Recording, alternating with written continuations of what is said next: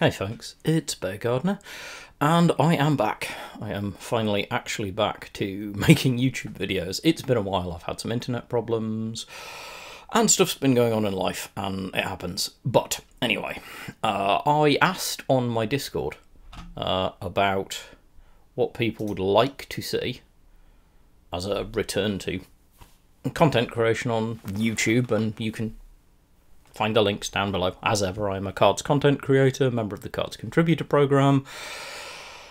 Uh, pretty much known mainly, I think, as being a, a new player advocate, mm, strategist. Uh, I'm all about trying to improve your Kards experience, I guess. Anyway, I was join my Discord. You can have some great conversations there. I have some fantastic people. I'm very, very lucky to have some extremely good players and lots of very friendly people there. But when I asked on my Discord what would be the video that people would most want to see with me coming back to content creation now that the internet's working, um, the main answer was a conversation about the current meta and the decks that are in it and I guess it's kind of a survival guide. I don't really know. It's going to be just a conversation for me about what's out there and how to approach it. Um, what decks you're going to face, how to play into them, but also I got asked some really interesting things about psychology, so that's also going to be pretty cool. So first and foremost, to give you some context, um, I, I've made field, field marshal this season. Um, you can see like literally all of it somewhere on this channel um, if if you have the time. I think I've there's a two and a half hour video which is at two times speed uh, of 95% of the games I played on my way up to Field Marshal from Rank 6. Um, there's a couple that were missed because they were either played on mobile or recording didn't work, but I even managed to record my mobile games and cut them in there. So you might see the occasional notification pop up on screen and stuff. You can see what real life looks like. But anyway, you can actually see my journey to Field Marshal on the deck that I played. That same deck, Air Exile, I will put a link down below to or the deck description, but it is just one deck that is out there. But is the deck that I've primarily been playing from the point of view of competitiveness, and we'll kind of get to that in a bit. Um, but I, I have then, I have since then been into and out of the top 100. I'm consistently in the top 400 or so if I can put the time in. Occasionally I'm dropping because, quite frankly, I don't have the time to put in to, to really climb, but I'm, but I'm getting a pretty good zero, I think, on what's round. What's interesting to me, it's very fascinating to me in talking particularly to other players, is the difference between what I'm facing, um, at, I suppose what you would call the upper end of ladder slash the elite level of the game. I don't like that word, but it's, it's relevant. I guess you would describe many of the players that I play into as elite players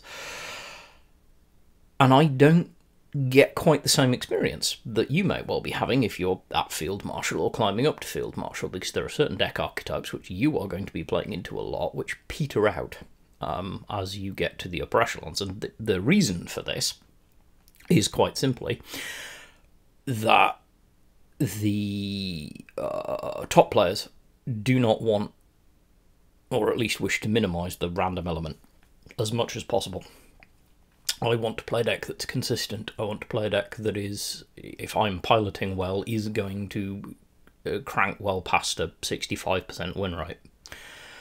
Um, and uh, some of the, the frustrating decks that I know you are playing into, and we are going to talk about them in a minute, don't fit that criteria. Uh, I also, if I'm climbing, which I'm currently not, but I know people who are, uh, in top 100, don't want to be running 15 minute fatigue games unless I am of the opinion that I'm going to win 90% of them.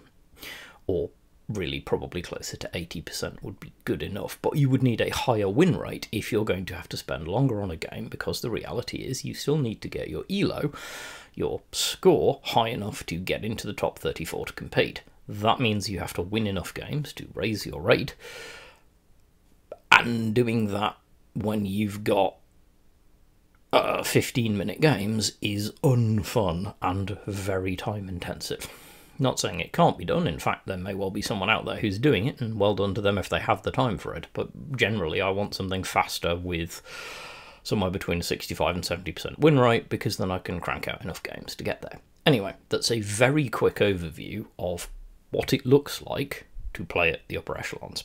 Relevant because I'm going to talk about the difference between your experience if you are not playing on upper ladder and the experience up here. So, I asked in Discord for people to point out the the decks that they were particularly interested in I guess, dealing with, finding it difficult to play against. And a couple came up that are very relevant.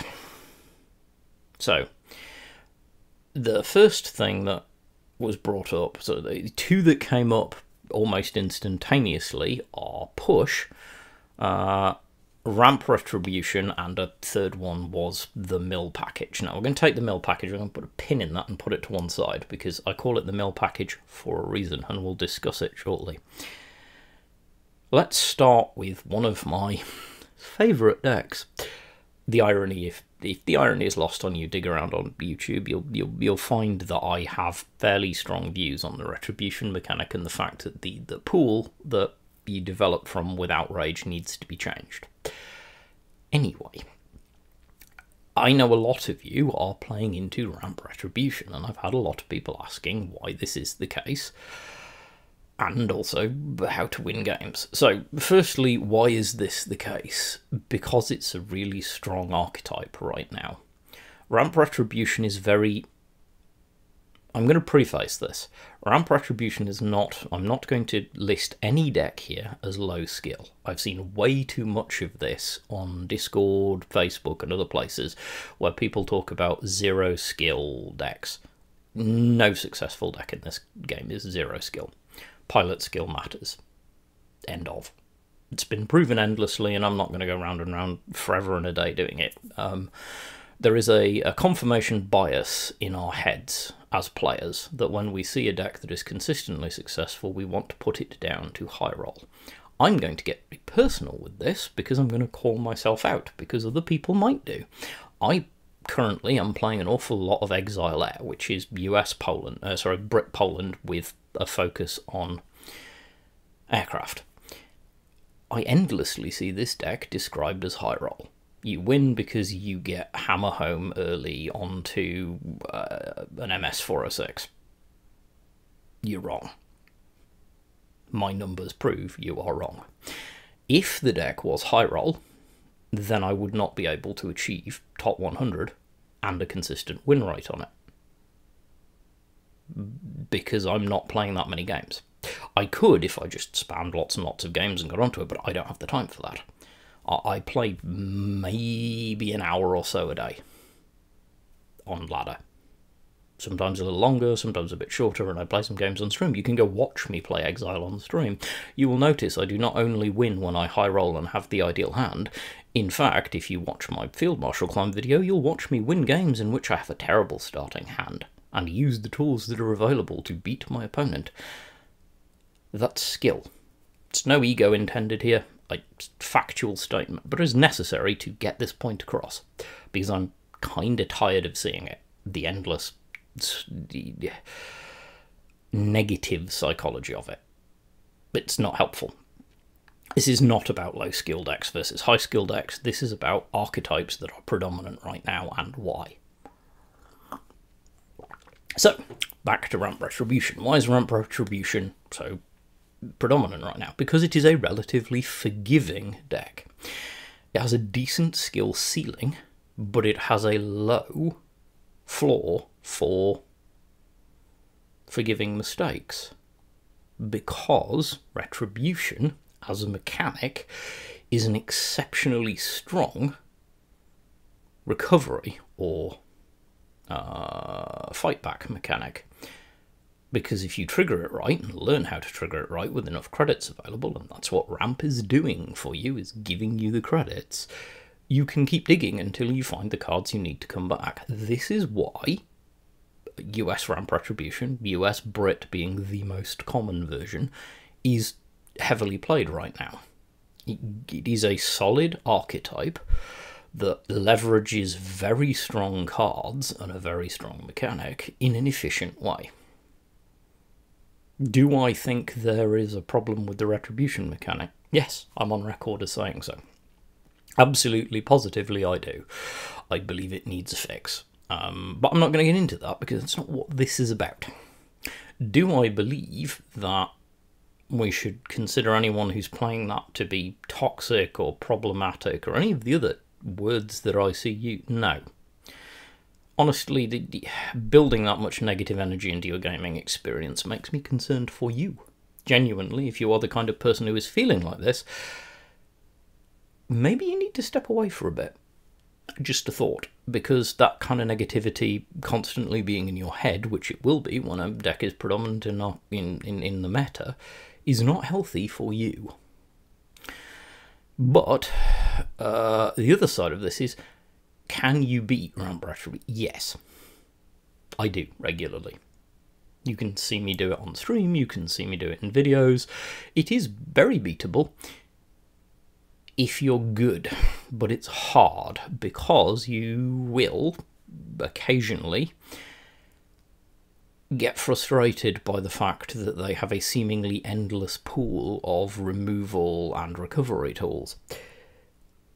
It's the, the best advice I can give you, and I endlessly give this advice, but there's a good time to emphasize it, is if you are finding this into Ramp Retribution, slow down. Play your turns slower. Think very carefully about what you're going to put down and how you think it will interact with ramp retribution, the way it's on board, and what they might have. Also, and I give this advice endlessly as well, and you might not like it, get a hold of a ramp retribution list, go play it. And play it in casual if you're not a big fan of playing it competitively, but play it. Get to understand how it works, because by understanding how it works, you will start to see cracks that you can impact. I have a personal distaste for it. I do not enjoy the archetype as a player. Nothing personal. I don't. I'm not going to throw any negative connotations at it or describe it as toxic or destructive or any of that. But it does not suit my playstyle. I don't like it. Uh, I don't like having to fish for random cards. However, I've made the effort to put time into understanding the list, talking to people who are very good at playing the list, and learning how to use it so I can beat it. It does have weaknesses. Uh, you can go under it, by which I mean win quickly. Often it is quite valuable against if you suspect this is what you are going to play into.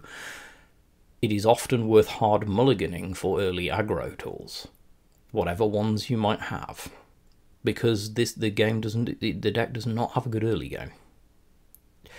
It we can get to you, but it normally needs to get to five or six credits before it can stop being a serious problem. Now, it can get there relatively quickly, but uh, it, it's effective. Also, if your Brit main Ultra uh, is normally, I would say, try and time your Ultra for very specific cards.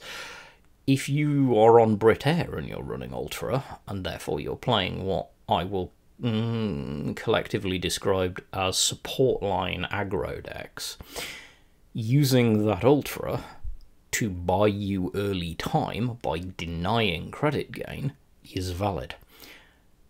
Same is true in Exile Air. Uh, I use the countermeasure that cancels the deployment effect to remove the deployment effect on the unit that gains a credit slot and gives you HQ defense.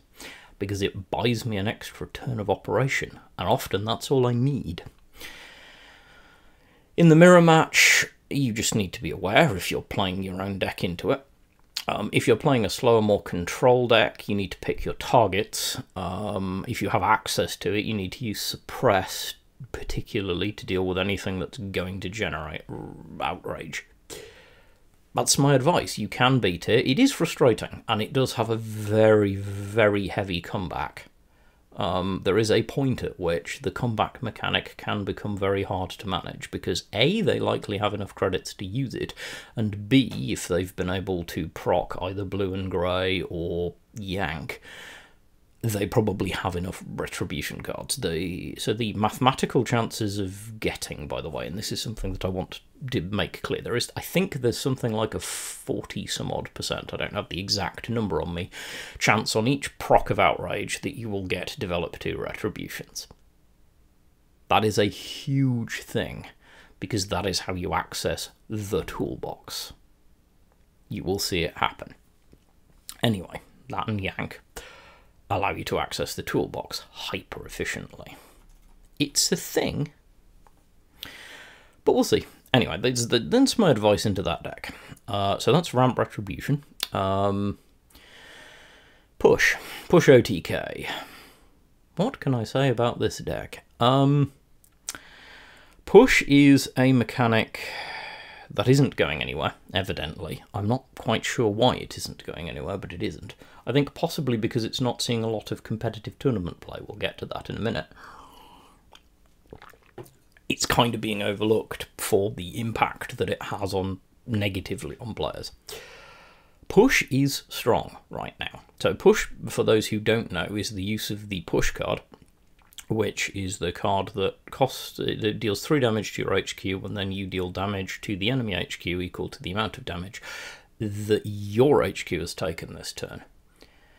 Which, on the face of it, is not that great. However, if you play two of them because they're a special, the second one only deals three damage to you to deal all the damage that you dealt the last time, which is all the damage you've taken, plus three to your opponent while you only take three, which is how push OTK works.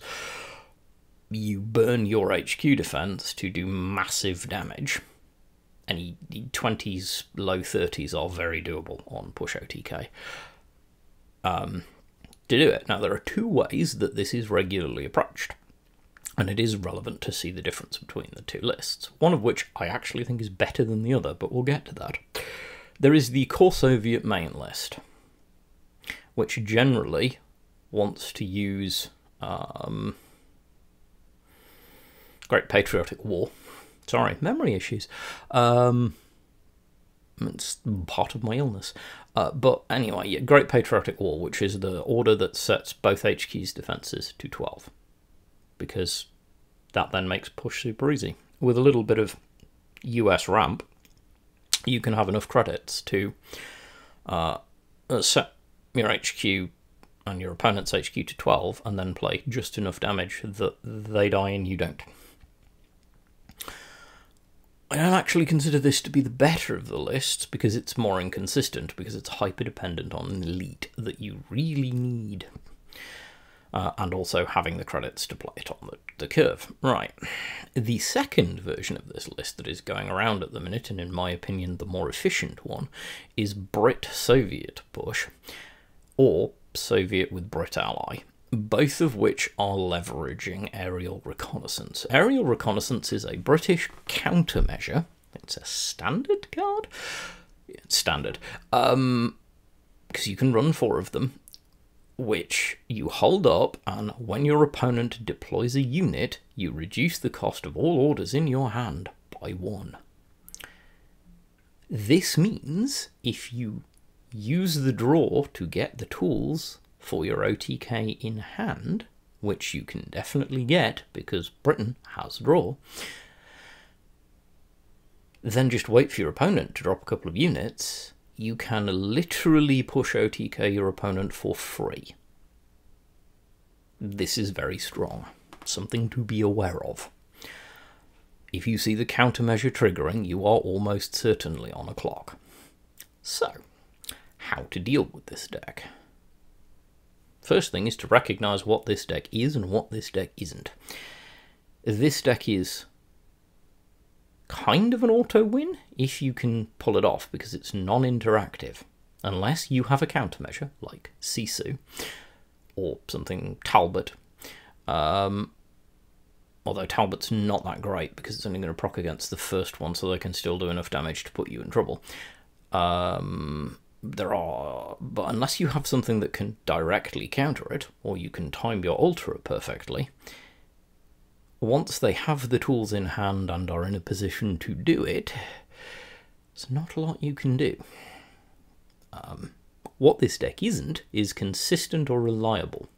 The reason this deck is not consistent or reliable is that you're not always going to get there fast enough, and it is very vulnerable to overdraw because you don't want to be running a lot of units in this deck, which means you haven't got a lot of ways to empty your hand, but you have got a lot of draw. This deck hates playing into mill, which we'll get to later because it can discard important parts of your combo.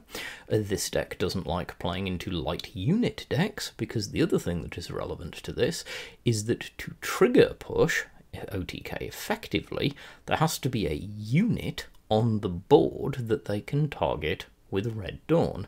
Otherwise, the entire thing doesn't work because they have nothing to target, which is why sometimes you will find they run some big trusty units of their own.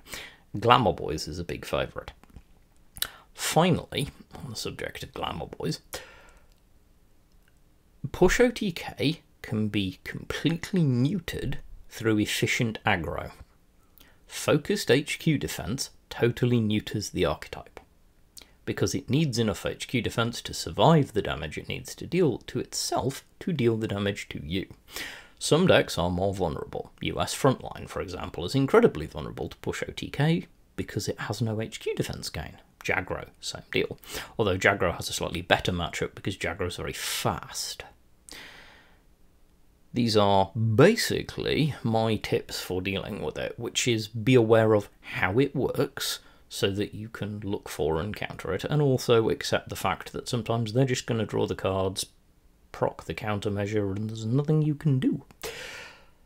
You, you there, there is occasionally nothing you can do against it. This is true, by the way, of most decks there are very there are just you can have games you will have games where you play incredibly well make no mistakes and you lose very notably some time ago uh, i pulled into ladder uh, and I, I i drew some f jack j queen some chap who's apparently quite good at the game and we played a match. J King, I'm kidding. Um, you know, I love you, man. But we played a match and I lost.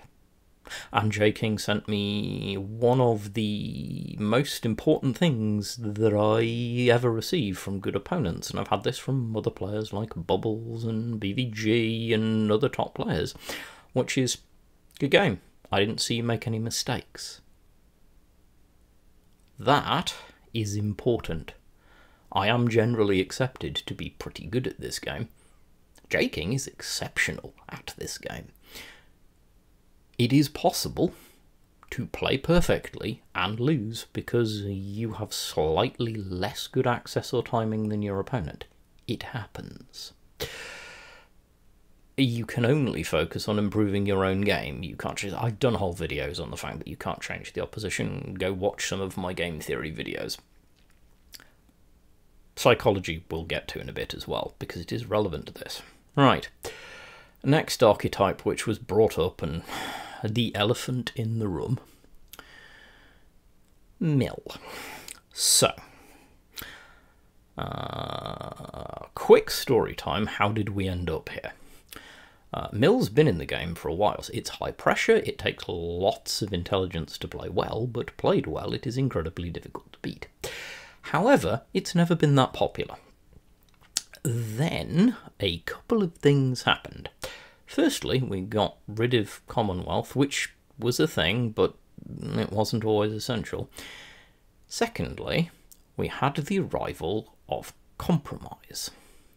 Now, compromise I called out when I looked at it, and so did some other people. Hey, it's that bloke again. Um, weird Canadian popping up all the time. Curse him for knowing the game. In all seriousness, we pointed this out mm, publicly, videos, conversationally. Compromise was always going to strengthen Mill. On paper, it doesn't look like it should. Because if you proc the one that causes your opponent to draw cards, you're also giving your opponent HQ defense. And it's not really bad because in the end you want to bring it. No, it's not. Because Mill does so much damage. Get to that in a minute. Anyway, so Compromise came along. The next thing that happened was the OCC. The last OCC an incredibly capable and intelligent player did something very smart. Henry, who won the OCC, spoilers, you should go watch, by the way. It's, if, if you want to understand Mill and think about how to beat it, you should go watch. Henry looked at the meta, the most common deck being ramp and or high-end value decks, and went, what's really good against these? Mill. Mill is good because it can take it to fatigue, and they're not well equipped to beat it because you're discarding all of their important tools and denying them presence. He then did the second half of it. Now, I've openly said, because people know that I do, as OCCs come round and I see the quals, I will theory craft my own decks, the three decks that I would bring if I was to compete in the OCCs. I'm never going to, unless something changes, I'm not going to compete. People do ask me regularly, and I get the why, but it is not going to happen. It's not something I want to do. For that OCC, two of my lists ran France Ally and were Mill. For the same reason that three, that is all three of Henry's lists, ran France Ally and were Mill because I saw the same thing he did a meta that was going to be vulnerable to it. You were going to get favourable matches. I wasn't sure. I really wasn't. I had a conversation with my wife about this one. Walking around a nature reserve talking about it for the OCC. She's very understanding, my wife. She's very. She's in my Discord. She doesn't talk about Kards very much, but she's around. You can say hi to her. Um, and she's very understanding. She will talk to me. She she is a smart woman and picks up enough about the, the game to have a conversation with me about things like meta so that I can bring stuff out. And we had this discussion, and I was like, I don't know whether this is going to work for Henry or not. It seems like a smart move, but is it a bridge too far to have brought three? Turns out it wasn't. He won super efficiently. He lost one game. Not one game in the final, not one game in the semi final. He lost one game in the OCCs. One. Anyway, this brings us to the two things that have caused Mill to become present. Now, I did go on stream the OCC After Party. It's probably still on Twitch. You can probably still see me saying this, which is a pleading with people not to assume that this meant that you should build mill decks and go on to ladder with them, because it is not a good tool for laddering currently, because it does not have the consistency that the list I talked about previously did. That is still true, but we are still seeing it. You are seeing it. Notably, I'm not seeing a huge amount of it at top end. I'm really not. The reason I'm not is it's terribly inconsistent and we don't want that. You're seeing a lot of it because it feels cool and if someone can win the OCC dropping only one game, it has to be like a super auto win deck of doom, right? No. So one of the things to be aware of, and there are people who are there are mill haters out there who are not going to like me making this statement, but it doesn't make it any less true. It takes pilot skill to win on a well-built mill deck. Facts. Hard work. You need to time things very carefully. You need to thoroughly understand the matchup that you're playing into and where best to deploy your control tools. You need to be able to be aware of the content of your deck. You need to manage your hand to not overdraw, and then you need to time your actual mill tools perfectly. This is not easy, which is why mill is beatable. Takes me to the next point. First thing against mill, and this is where we're going to get into psychology, and please, if you're going to pay attention to one piece of advice I give about playing into mill, it is this. One of the biggest reasons you're losing to mill on a regular basis, if you are, is that you are allowing yourself to get tilted. You're letting it get in your head. Don't. I know it's hard. I've done videos on this. It is hard. But slow down, calm down, and remember, this is not a deck that is just going to beat you. If the pilot is good, really good, you're probably screwed. Unless you're on the right deck. Any good fast aggro deck will be a problem for it. There are a couple of unitless decks that it doesn't like, and you can do quite well counter milling, but outside of that, against a good pilot, you're probably cooked.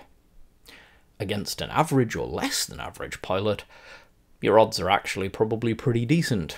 And how do you identify how good the pilot is? If you deploy a couple of units on turn 2 and suddenly they honour and loyalty them off the board, chill. I know it sounds like you shouldn't. Really frustrating. Oh god, my, my start is gone. Chill. This person, nine times out of ten, there are exceptions, because there are times when you need to do this when you recognize a specific threat, or you know that your hand isn't providing what you need is over enthusing about their mill tools and forgetting that they have a limited number of them, which means that they're probably not going to remove your late game threats, which are the things that are going to win you the game. Which leads me to the second point. You're not going to necessarily, you, you're either going to win early by just going under it and being very fast, or you're going to win late because they have not efficiently managed their mill tools, and you are able to keep one or two damaging units on the board and plink their HQ. Because the other thing you're going to do is learn to use the feature, if you want to be okay into this matchup, that allows you to see deck size. You can click on your own deck, and it will show you the count of cards in your draw deck and their draw deck. That's when you start to to do maths. And some of you may not like this, but doing maths will help you into mill. What you need to understand is the impact of the gap. Bubbles talked a lot about this, really, really smartly. I really enjoyed his coverage, by the way. Bubbles, great job covering the OCC. Talked a lot about this in understanding, as did Spoos, actually, and the two of them were chatting quite a lot about the, the difference they were fixating on the difference in deck sizes. The reason they're fixating on the difference in deck sizes is this is how you'll judge your chances into mill. If you are two or three cards down, as your cards are, uh, your deck's a couple of cards short, it's not that bad because three cards down is one, three, six damage because you take one for the first overdraw, two for the second, and three for the third for a total of six five cards down. One, three, six, ten, fifteen. It's exponential. Controlled draw is huge, especially if you are playing anything that has a draw engine. Yak, the draw yak, especially considering it also damages your HQ. 22 regiment, uh, uh, the 22 infantry from Germany. These are cards you need to be very careful with because they continually draw you cards and you aren't always able to turn them off. Playing mill, if you ever see me playing mill, you quite often, especially if I'm on frontline or something similar or Jagro, you'll see me push my draw engine to the front line. The reason I'm pushing it there is so that I can sack it when I need to. When I see the gap getting too big, I will sack it so I don't keep drawing, because I don't need to help my opponent. Right, next thing is Mill's best matchup is Ramp Retribution. It's kind of what it's built to beat. Um, it has other good matchups, but that is by far the thing that it is super efficient on.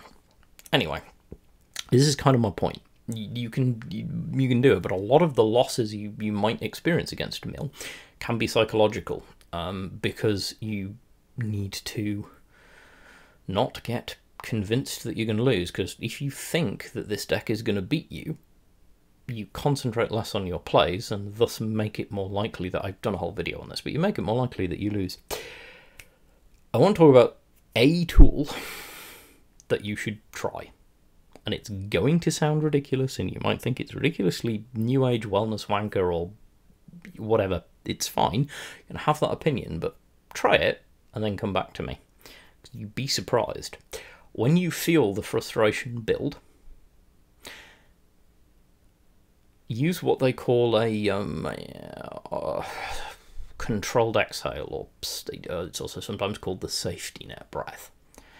So, you can close your eyes if you want to, but the main point is to breathe deeply in through the nose and then exhale slowly through the mouth through pursed lips.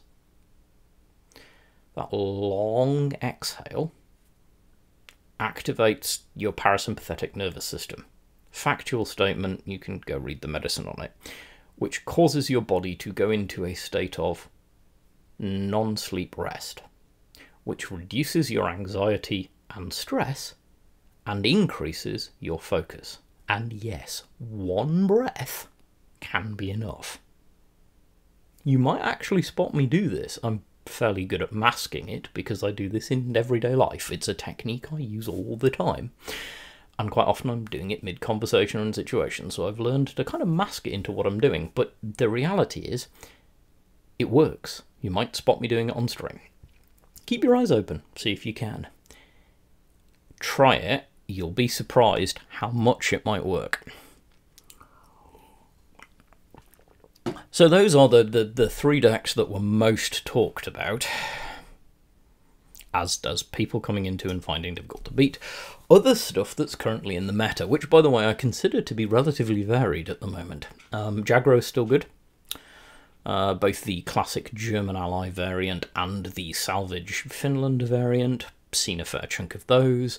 Japan Poland Legions low key, give it a go. You'd be surprised if you can be patient enough and you don't mind playing the value game. That's pretty good. Uh, oh, Germany, Finland, Heinz. Um, that's that's around. The Heinz, for those of you who are watching this, who are the newer players and get confused by this, has nothing to do with beans, sadly, which makes me sad. But it's a Brit thing. Um, Heinz is named for a card called Fast Heinz, which is no longer in the game anymore but it basically boils down to a very fast tank deck. Um, there are quite a few doing the rounds at the minute. Ger US Heinz is out there, Ger Japan Heinz is out there, Ger Soviet Heinz is out there, Soviet Germany Heinz is out there. I'm going to see a lot of it, but it exists. Um, but Germany Finland Heinz, as of recording, is pretty good. I've played a few on it. It's it's decent. Uh, Britair, normal US ally and Soviet ally, both solid decks, um, well playable at the moment. Uh, they are these are by the way the and this along with their exile are what I call the support line aggro deck. Uh, Baron von Glover, responsible for giving me that phrase, and I like it. Um, they are all aggro decks, um, because they they're not really interested in a late game. Like Britair has some late game tools, but really these decks want it to be over soon. Um, they're pretty good right now, but they are beatable. Again, you can go under them and you can stonewall them with removal. Um, not a lot of control around at the moment. Um, there really isn't. Um, strongest control deck I currently play is Soviet Italy control, but it is very pilot intensive. You need to be very good to win on it. Um, no shade cast on anyone, but it's factual. My experience tells me this. Um, uh, what else? Is, oh, frontline. We have to talk about frontline. Frontline is good right now. Not amazing, but good. Uh, might need some help. It can be a bit it has some not great matchups. Um, commandos you might be seeing at lower ranks. Trust me, the, the, the more you climb, the less you'll see it. Again, it's janky. It's fun, but it's janky. Covert, um, you might see a bit of. There are some interesting, what I call hybrid covert list, covert lists out there. Um, I'm not taking credit for them. There are lots of good people who developed them, but a while back on stream, I, I in a new player stream on an alt account, I was playing a what I called at the time a hybrid covert deck, um, which used some good frontline tools from US, um, along with some blitz tools, and then followed up with covert. This is the thing, and it's pretty good. Uh, I don't think it's going to be super competitive, but it's definitely playable. Um, what else is out there? Uh, I know uh, Leo on Bill Bill did some streaming with the Germany Poland Legions. I had a look at that deck. It's pretty good. Um, it's pretty fun. Um, and I think this is probably oh. Uh, Self credit denial is still out there, uh, mostly as a Jagras variant, although low key. I actually think the Japan Soviet version might be better. I, someone somewhere will find out whether they agree, but I personally have found the interaction between uh, 51st Recon and Respite be very powerful, and it fits surprisingly well into an SKD package, into the shell.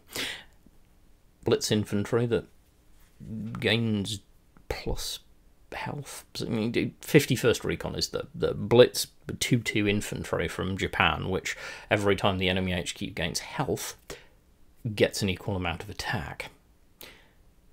Respite increases its defense and increases your opponent's HQ defense, which means if you've got a couple of you can see where this goes. Anyway, you might see me stream it at some point. It's an interesting deck. Uh, the classic German ally one is also pretty good at the minute. Um, these are these are probably the things you're most likely to see. Um, I I don't want to babble on endlessly. I'm I, I'm not going to claim this is going to be a short video, but it's short for me because it's probably going to come in under an hour. Um, might come in under 45 minutes. These are the things that you're likely to run into. As always, I hope it's helpful. I hope it's interesting. If you want to see me talk about this more or ask me more questions about this, comments are down below, as is the link to join my Discord, where you are more than welcome to reach out and chat to me. If the link is expired, because it's a thing and I can't afford to pay for Discord Nitro so that my links don't expire. Conversations about that coming in future. I, I've been asked endlessly about am I ever going to allow anyone to support me. At the moment, I haven't got the best model for it, but I'm looking at it um, Twitch subs are one thing, but we'll get there. There'll be an announcement video probably in the next week or so. But I can't afford that kind of effect, so if the link has expired, hit the Kards main Discord and just at me. You you can get me. Uh, I I am not hard to find. Um, you're you will get me at Bear Gardner, and I'm 2605. So I'm at Bear Gardner brackets 2605 on Bear underscore Gardner uh, on the Kards Discord. At me, and I'll get you the link so you can join my Discord. You, everyone is welcome. The rules are very simple.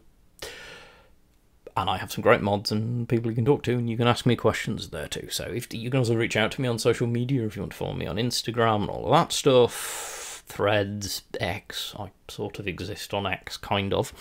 Um, but yeah, find me, mm, ask me questions. If you want to see more of this, leave comments down below and questions about other things you might like me to discuss, because I'm always looking for new content ideas.